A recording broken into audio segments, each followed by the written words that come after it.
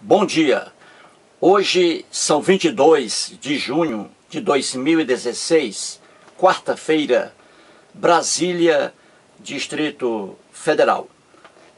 Este o 16 16 16 vídeo sobre o Deus de Albert Einstein.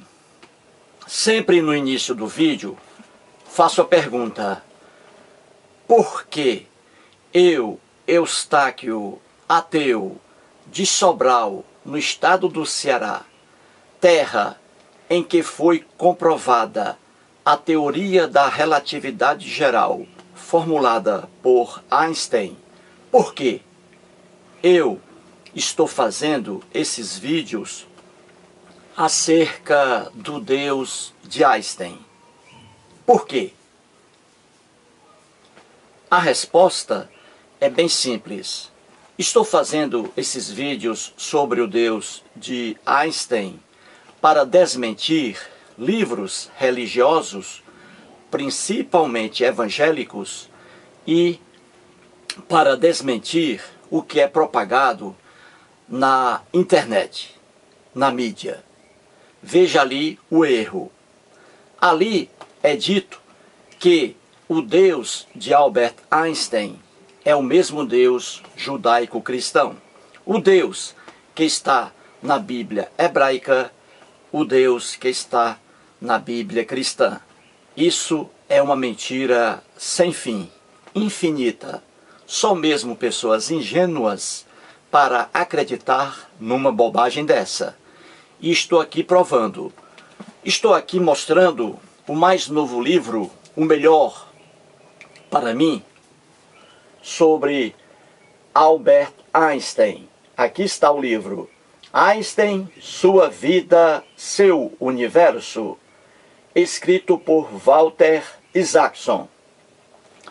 Em cada vídeo mostro aqui mostro aqui a visão, a concepção de Einstein sobre Deus e sobre religião. E o Deus de Einstein nada tem a ver com quaisquer deuses de quaisquer religiões. A religião dita por Einstein nada tem a ver com cristianismo, islamismo, budismo, shintoísmo, hinduísmo, confucionismo, etc. Nada. Portanto, aqui mais um vídeo sobre Einstein. Mais um trecho. Muito bem. No, nos dois vídeos anteriores, 14 e 15, mostrei ali, fiz uma análise sobre o encontro do poeta George Sylvester Wierke e o físico alemão judeu Einstein. Mostrei o encontro do, dos dois lá em Berlim. Einstein ainda morava em Berlim com sua segunda esposa Elsa Einstein. O poeta foi à casa, ao apartamento de Einstein, para ali fazer várias perguntas sobre religião. E as perguntas principais que mostrei aqui nos dois vídeos anteriores feitas pelo poeta George são: Doutor Einstein, o senhor acredita em Deus?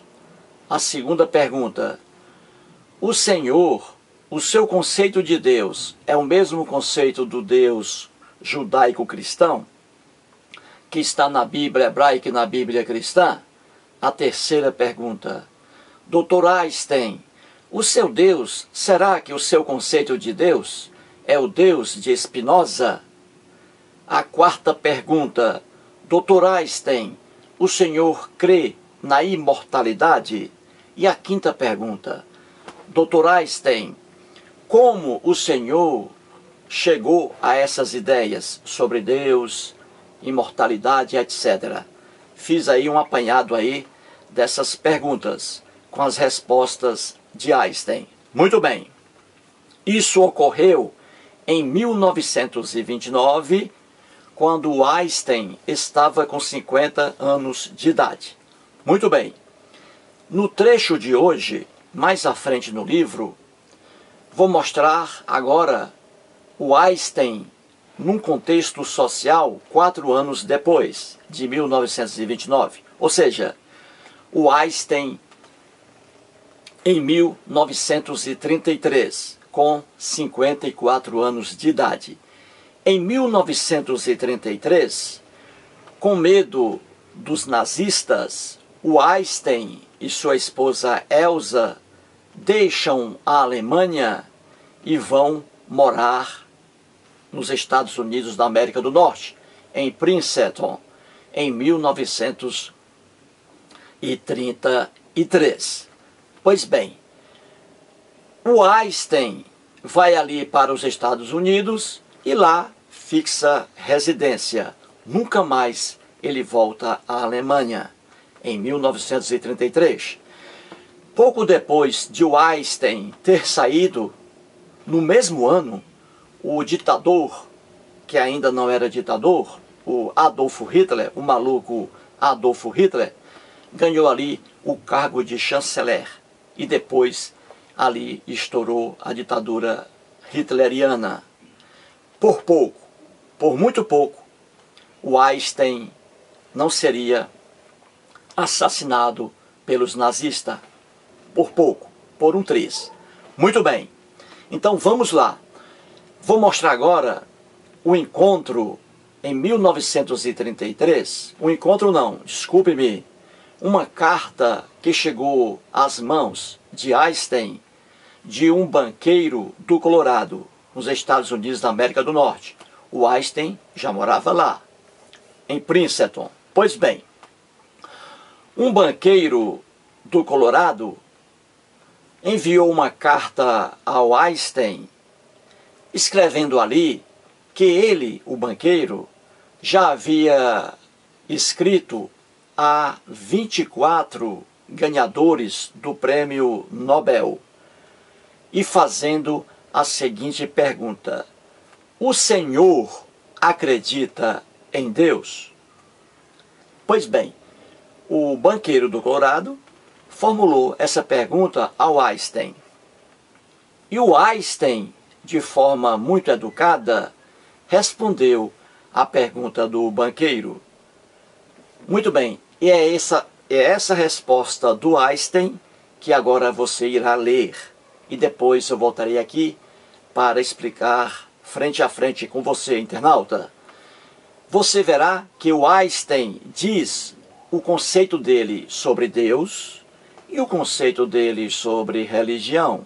Mais uma vez, nada a ver com deuses de quaisquer religiões e, e a religião de Einstein nada a ver com quaisquer religiões propriamente ditas. Ao contrário, o Einstein via religiões e deuses religiosos como mera superstição.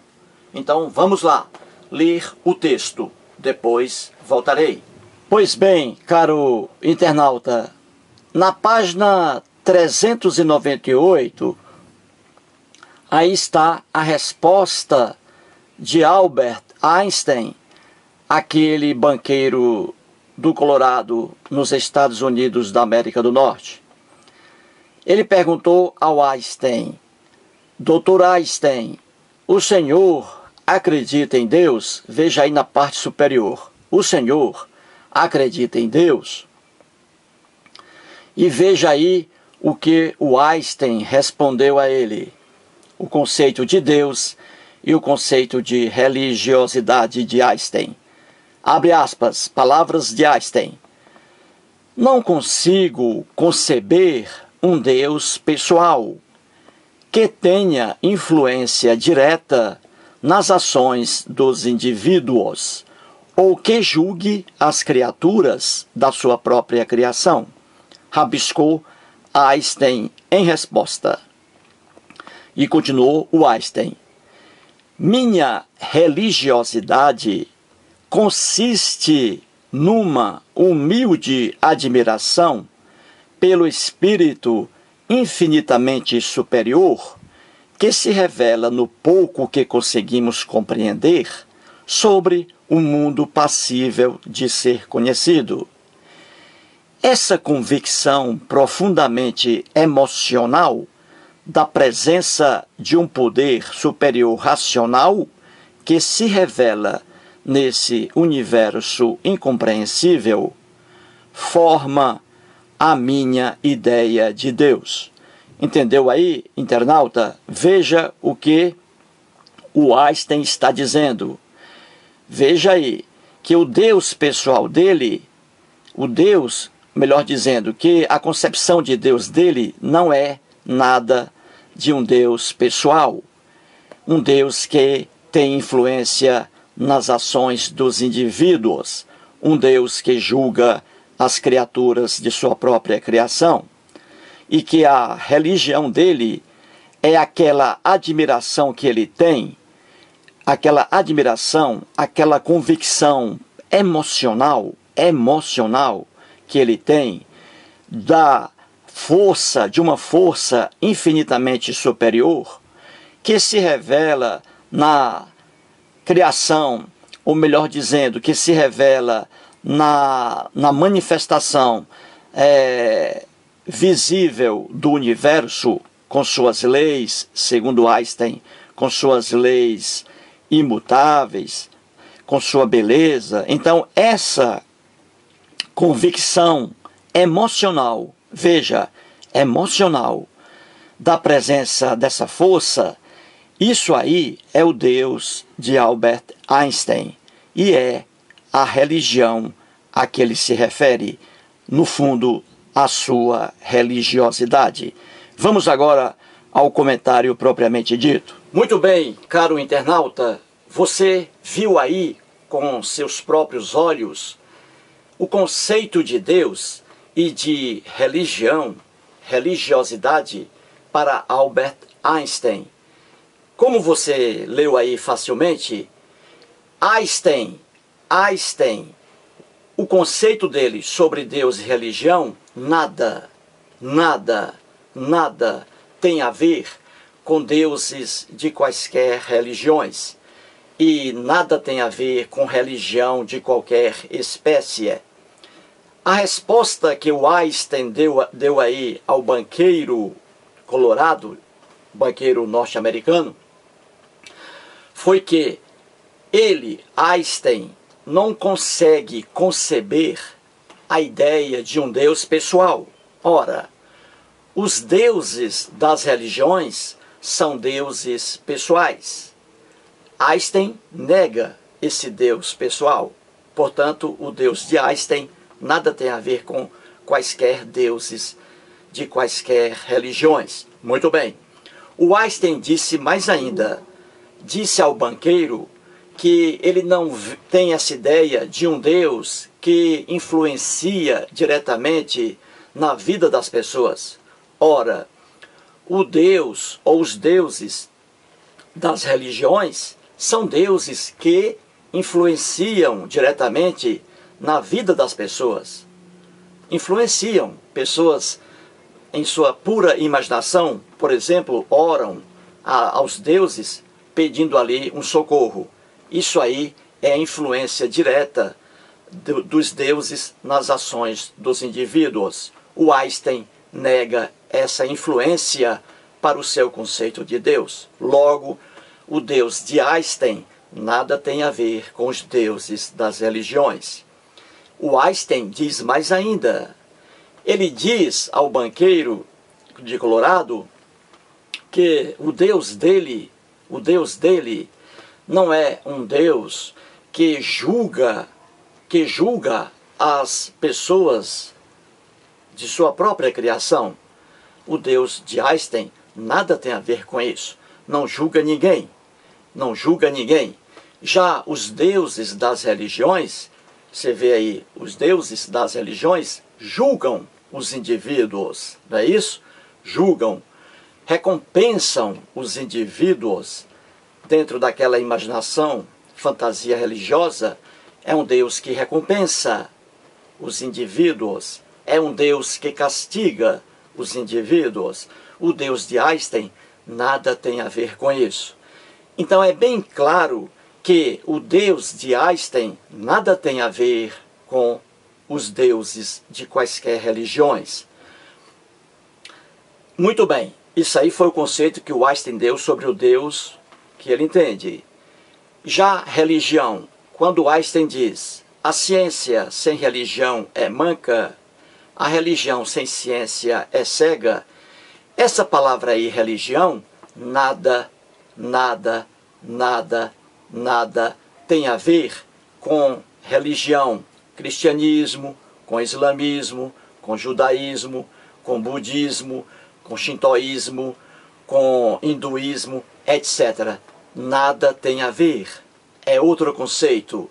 E o Einstein diz bem claro aí que quando ele fala sobre religião, ele não está falando sobre cristianismo, islamismo, budismo, hinduísmo, etc. Ele está falando sobre sua religiosidade. E o que é religiosidade para o Einstein? Ele mesmo aí disse, escreveu ao banqueiro do Colorado, de forma bem clara. Ele diz aí que a religiosidade dele é apenas aquela emoção, é aquela convicção dele, pessoal dele, emocional, apenas emocional, veja o que ele diz, é importante. É aquela convicção emocional dele, sem base em nada, em estudo algum, é apenas uma convicção pessoal dele, emocional, sobre uma força que está aí no universo. Uma força que controla o universo em relação às leis imutáveis, segundo Einstein, em relação à beleza do universo. Então, a religiosidade de Einstein, a religião de Einstein é essa convicção pessoal, emocional dele.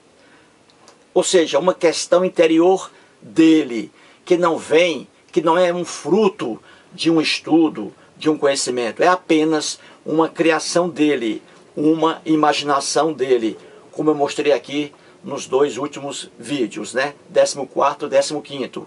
Quando o George, o poeta George, perguntou ao Einstein como o Einstein chegou a essa ideia de Deus. E o Einstein disse: Eu cheguei a essa ideia de Deus graças à imaginação. Veja, ele não diz graças ao conhecimento. Não, é apenas imaginação dele. Então, a religiosidade, a religião de Einstein é aquela, aquela atração que ele sente, é aquela emoção que ele sente, é aquela convicção apenas dele sobre aí a existência de um ser superior, que nada tem a ver com os deuses de quaisquer religiões. Portanto, aí, de forma bem clara, que Deus, para Einstein, nada tem a ver com os deuses de quaisquer religiões. Ao contrário, ele via esses deuses como produto da imaginação humana e via as religiões propriamente ditas como verdadeiro atraso. Portanto, aí a verdade, acima de tudo, a verdade, de forma clara, de forma cristalina e de forma incontestável. Muito obrigado.